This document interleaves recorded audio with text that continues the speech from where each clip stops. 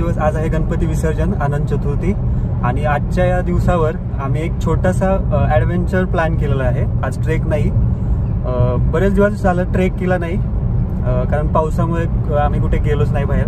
तर आजचा छोटासा प्लॅन आहे की ठोसेगर धबधबा आहे सातारचा. तो एक्सप्लोर करायचा आहे. आणि गणपती विसर्जनापूर्वी घरी यायचं आहे तर एक हा छोटासा प्लॅन आज आम्ही केला आहे आणि आज आपल्याबरोबर टू व्हीलर नाहीत आज स्पॉन्सर झालेत आविष्कार मालुसरे. त्यांनी आपली स्वतःची कार घेतली आणि आपली टीम अक्षय आहे साहिल आणि समीर पाठीमागे आहेत. तर अशा पद्धतीने आम्ही प्रवास सुरू केलाय.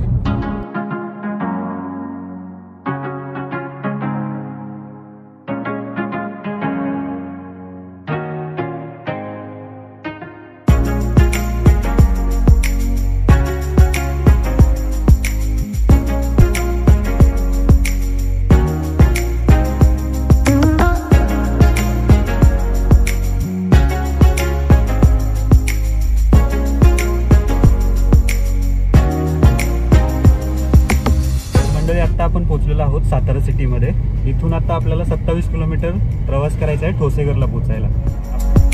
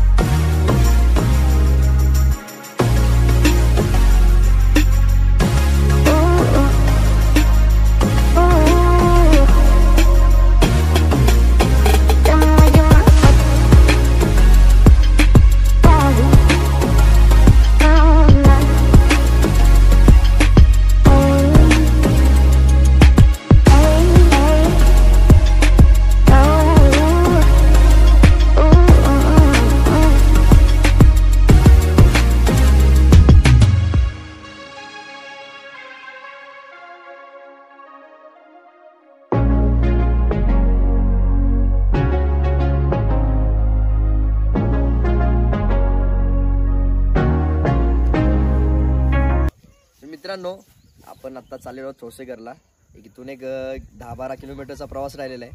आपण आत्ता जिथं उभा आहोत तिथून पाठीमागं जो रस्ता गेला आहे तो जातो सज्जनगडकडे.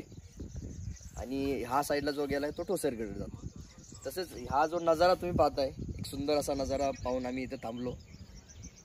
थोडेसे फोटोशूट करणार आणि निघणार इथून.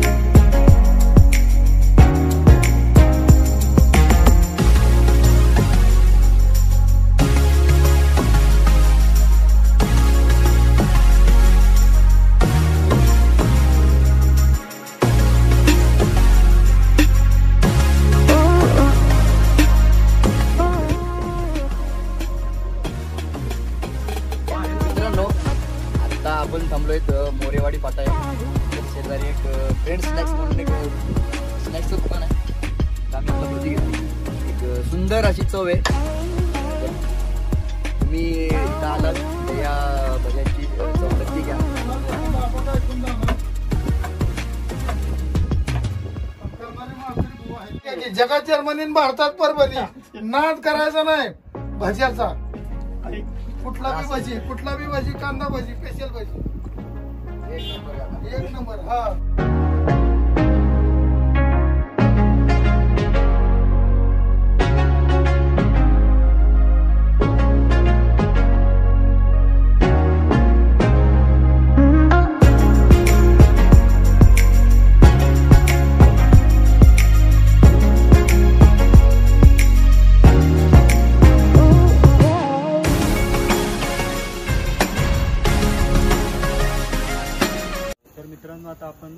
ठोसेघरला पोहोचलेलो आहोत. गाडी आपली पार्क केली पार्किंगसाठी काही कॉस्ट नाही आहे त्यानंतर आपण मेन गेटमधून एंट्री करताना आपल्याला पन्नास रुपये पर हेड तिकीट आहे.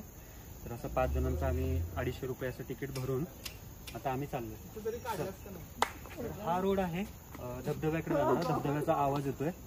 तर पाहूया आता इथं आमच्यासोबत गाईड वगैरे असं कोणी नाही. पूर्वी गाईडची एक होती इथे सुविधा पण आता गाईड नाही आहे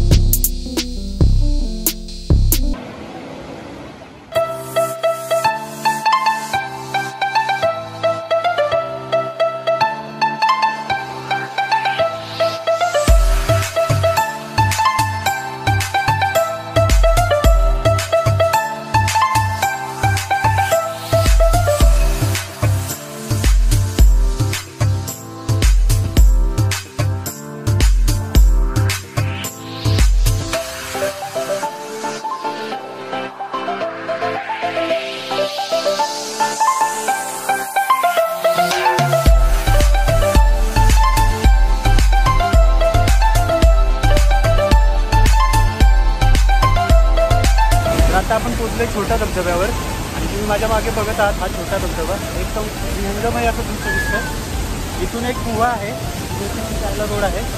बघूया आपण आता गुहेत जर परमिशन असेल तर जाऊया.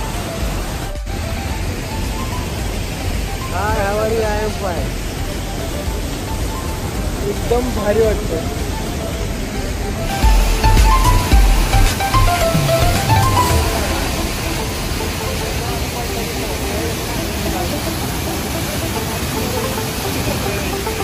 えっ?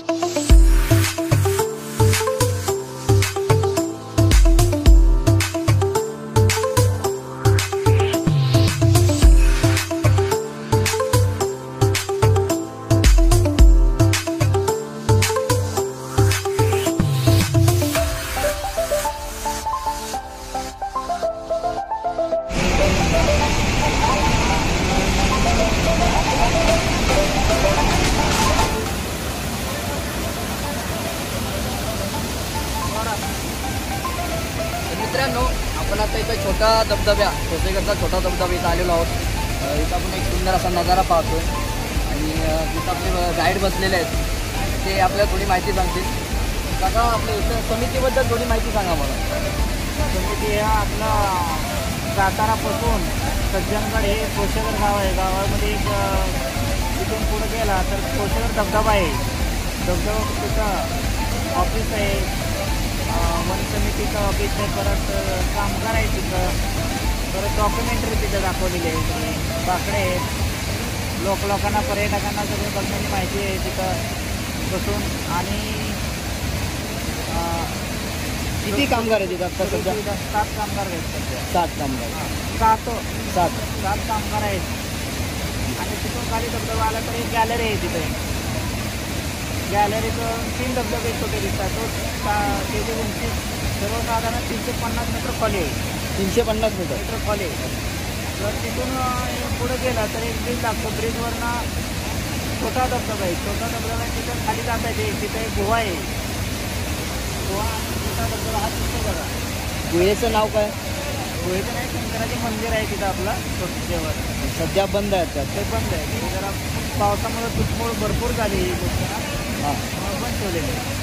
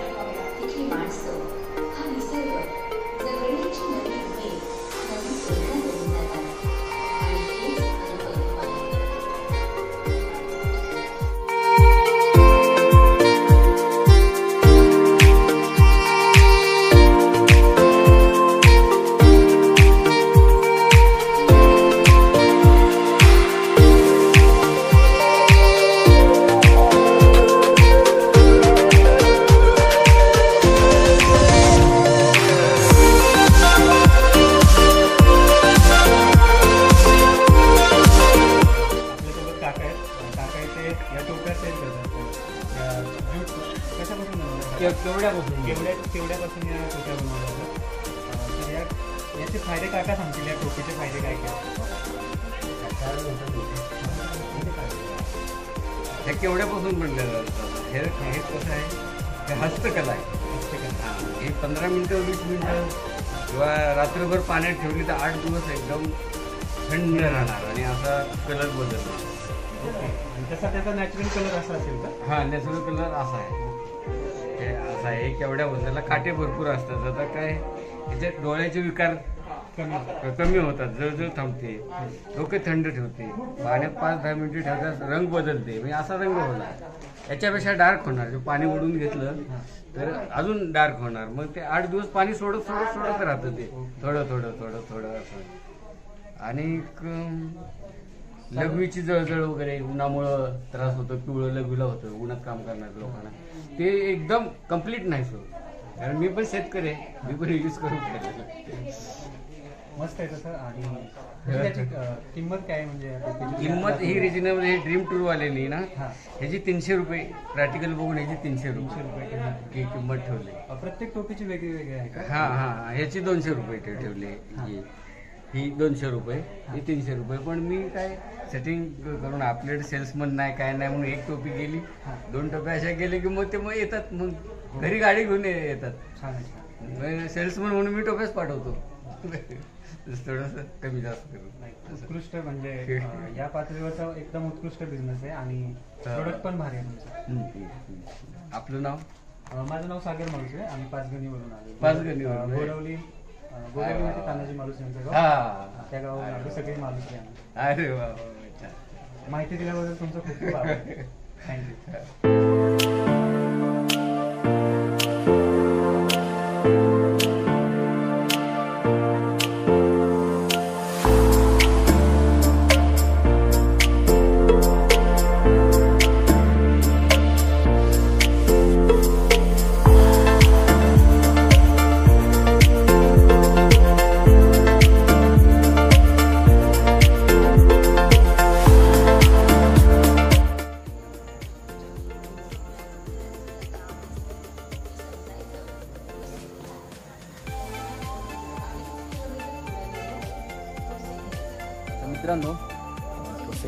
पाहिला आपण.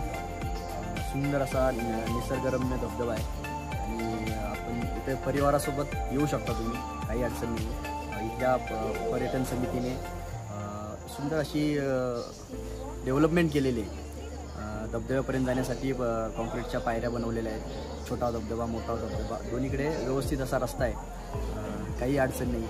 आणि इथं येऊन तुम्हाला जर जेवण वगैरे आणले असेल इथं एक समितीने मोठा हॉल बांधलेला आहे. त्या हॉलमध्ये आपण पर परिवारासोबत जेवण करू शकता.